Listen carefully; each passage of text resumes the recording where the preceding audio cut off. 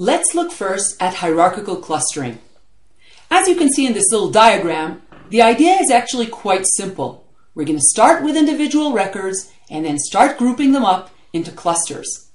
There are going to be lots of questions such as when to stop, how to group, who is similar to the other, and those are the questions that I'm going to try and answer in this session. So here is a general algorithm. This is again just writing what I just explained. We start out with n clusters, where n is our sample size, the number of records, and each record is its own cluster. In step number one, we merge the two closest records into one cluster. In this little example down here, B and C are clustered together into a single cluster. From now on, at every step, we're going to be merging the pair of clusters with the smallest distance. So now we're not necessarily merging individual records. These can also be a record with a cluster or a cluster with a cluster.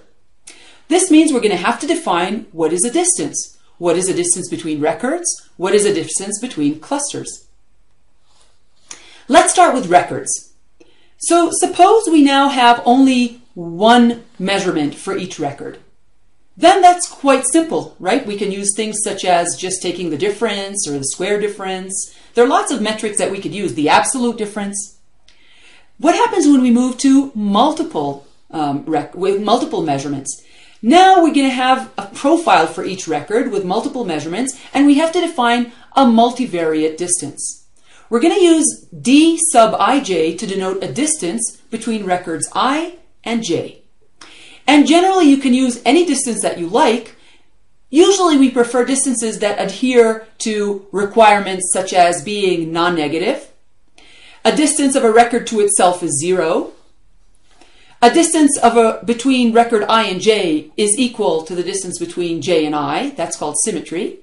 As well as the triangle inequality that guarantees that the distance between any pair cannot exceed the sum of distances between the other two pairs. And most of the distances that you can think of will adhere to these requirements. Now, obviously, different distance metrics will have pluses and minuses, and that's why we're going to have to explore a whole range of them. Reminding you again, our example is going to look at universities in terms of rankings of business school programs, and we have a bunch of measurements for each university. We have two student quality measures, three program measures, and one placement measure for a total of six measurements. Suppose that we want to measure the distance between two universities. I'm choosing Caltech and Cornell. And if you go back to the previous slide, I'm just collecting the numbers that were in the table.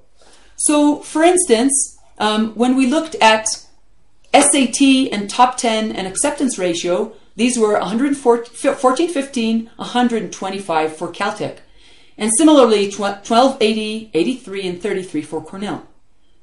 I'm going to use the notation x sub i for one observation and x sub j for another observation. In this case, again, Caltech and Cornell. And I'm writing down their entire profile, their entire set of measurements as a vector, as a series of these numbers.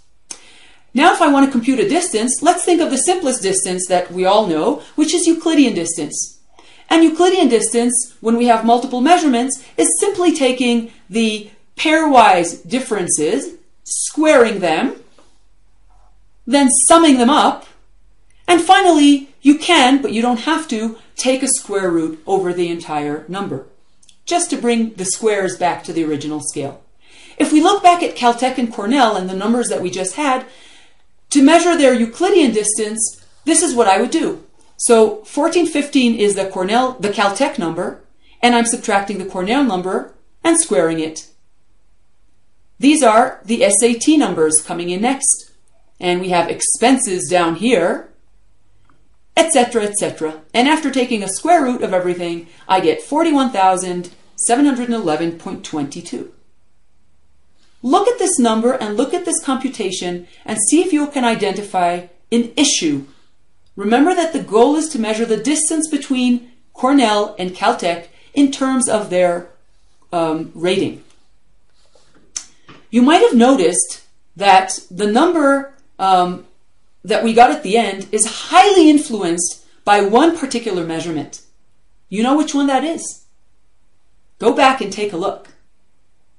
That measurement was the expenses. And the reason is, is that the scale, we have those in dollars, the scale of expenses is much larger than anything else. So expenses is taking over the distance between universities, which means that the distances are reduced to simply expenses. If we're going to cluster based on these numbers, we're just going to get expensive universities, middle expensive, and cheaper universities. So the remedy for this is that we're going to do a normalization or a standardization. Those are the same words for the same thing. We're going to normalize each one of our measurements before we compute distances, such as the Euclidean distance.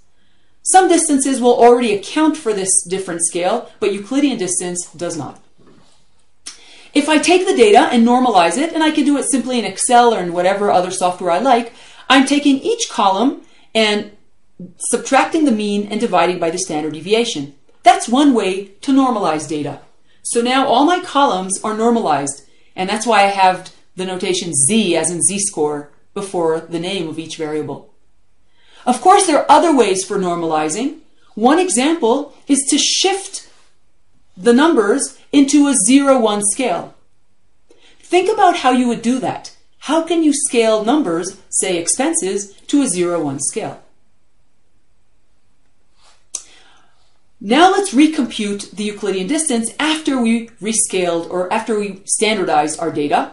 So now I'm taking the distances or the, the differences between the scaled numbers and again squaring them, summing them all up, and eventually taking square root.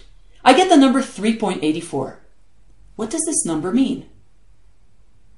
Well, it doesn't really mean anything, but it's going to be very useful when I compare it to other numbers because now I know which are bigger distances and which are smaller distances.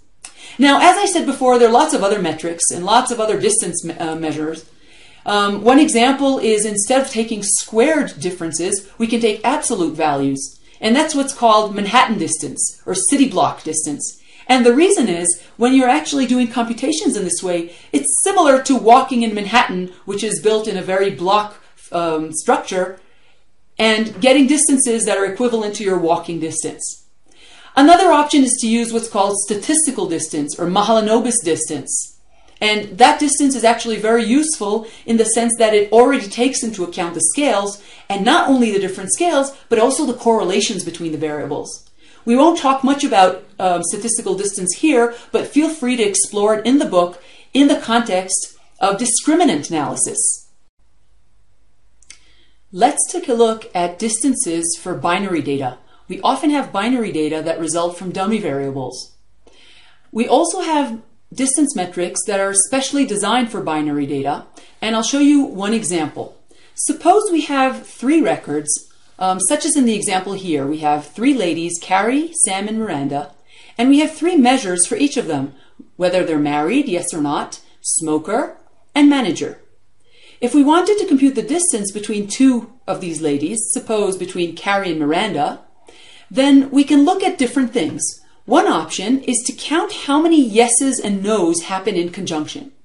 So for example, if we looked at Carrie, she is married, she is a smoker, and she is a manager. Miranda only has a yes for manager. Therefore, in the yes, yes um, option, we have only one count. Similarly, since Carrie has yeses for all measurements, we don't have any no-no counts at all. And I'll let you think about how to fill in the two other numbers, 0 and 2, that show up in this little table. So this gives us an idea of um, a distance between these two ladies. However, we usually want one final number, which is the metric. And for that, we can use these four numbers in different ways. One type of metric is called the binary Euclidean distance which basically counts the discrepancies when Miranda says yes and Carrie says no, and vice versa. You can see that B and C are the 1 versus 0 and the 0 versus 1. We can also look at the full part of the cup and say, well, let's actually look at the yes, yes and the no, no's, and that's what's called simple matching coefficient.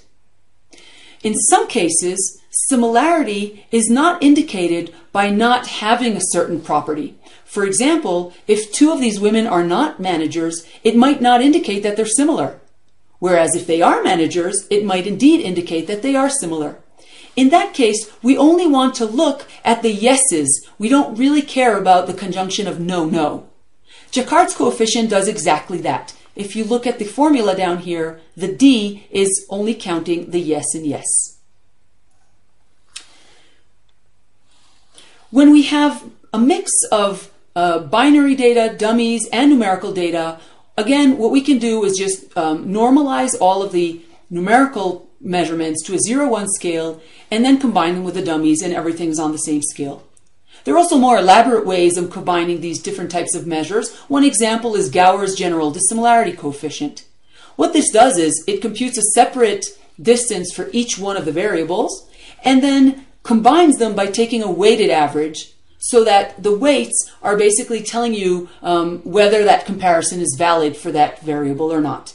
I don't want to get into details on further um, combinations, but you can see a link at the bottom here and on our website that has more information. I'm going to take the Euclidean uh, distance computations that we did earlier on just for one pair of universities, and you can see on this Excel spreadsheet that I computed it for all the pairs of universities in our small data set. I also used um, Excel's conditional formatting to color the cells according to their magnitude. As we expect, we have zeros on the um, diagonal because Euclidean distance does adhere to that rule. The first two universities that are going to get clustered together are going to be which ones? The pair that has the smallest distance. And you can glance a little bit here, but of course you're not seeing all the different numbers. So the first step is going to be to cluster the two universities that have the smallest distance. Now, the next step is going to ask which two universities, or maybe we now consider this new pair as a cluster, which distance between two universities or a university in a cluster is the smallest, which would create the next cluster. In order to answer that, we need to define distances between clusters. Now, as in the case of records, we're going to have different types of distances, and the reason is we never know what the data characteristics exactly are. So we're going to try different distances and hope that some of them capture some interesting patterns in the data. Let's look at a bunch of distances for, between clusters.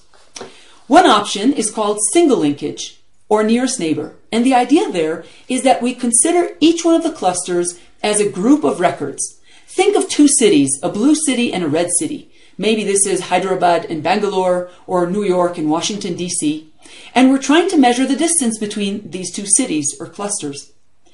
In nearest neighbor, we're going to look for the two closest points between these two cities, and that's going to be our definition of the distance between the two clusters. Similarly, we can define a farthest neighbor, which looks at the two most distant points or records in the two clusters, and the distance between these two points is going to be defined as the distance between the clusters. We've seen two extremes, the nearest and the farthest, and obviously we can do something in the middle, and that's called average linkage. There we're going to compute all the possible distances between each blue dot and each red dot, and then take an average of all these distances. And finally, one other middle ground is called centroid linkage. And here what we do is we first take each cluster and compute its middle or its center. And this is called a centroid. How do I compute it?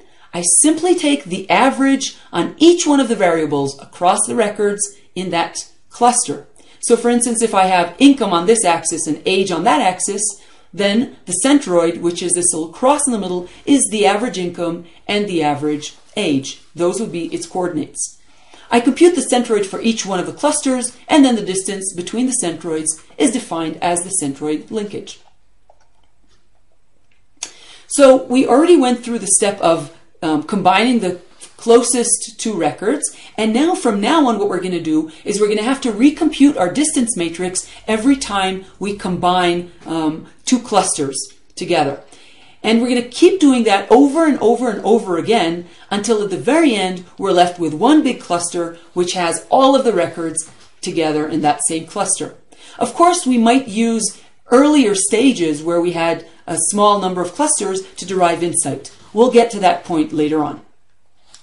Here's a little example. I have five records, and I have two measurements for each one of these five records. I have V1, measurement 1, and V2. I also plotted these five records on a scatter plot. You can see what was actually supposed to happen if we're looking at Euclidean distance.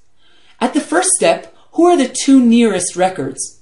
Well, 1 and 2 look closest, and they're the ones we're going to turn into a cluster. What's going to happen next? Well, you're probably guessing that 4 and 5 are going to turn into a cluster. If we're using Euclidean distance, that's what's going to happen. And then the question is, where's 3 going to go in the next step? Is it going to join 4 and 5? Is it going to join 1 and 2? Well, let's see what happens when we actually use Euclidean distance and then we'll use nearest neighbor. So here's the little matrix that computes all the Euclidean distances. And I think that you, if with a little bit of, of computation, you can derive these numbers from the original raw data yourselves. For instance, the distance of 1 between records 1 and 2 is simply a function of the four numbers up here. So what's going to happen next? 1 and 2 get merged into cluster A because that's the smallest distance in our matrix. And now we have to recompute the matrix, and I call this new merging of 1 and 2 cluster A. We're going to have to recompute the distances of 3, 4, and 5 from cluster A. So now we have a matrix that is, instead of 5 by 5, it's 4 by 4. How do I get to these distances? Well, if I'm using single linkage, then how do I get this 4.5 number? This is going to be the minimum distance between how far 3 is from 1 and how far 3 is from 2. And obviously that gives me 4.5. You can do the other computations for the rest of the matrix. In the next step, what's going to happen? The smallest number here is 2. So 4 and 5, records 4 and 5 are going to get combined. And that's exactly what happens. And once again, I need to recompute my distance matrix, which is now only 3 by 3, find the smallest number, and do the next merge. And what we find here is that the third step is that record 3 gets merged with cluster B. The last step is everybody's one big happy family, which is the end of the clustering. This whole process gets summarized in a nice graphical way that's called a dendrogram. We're going to talk about this in the next session.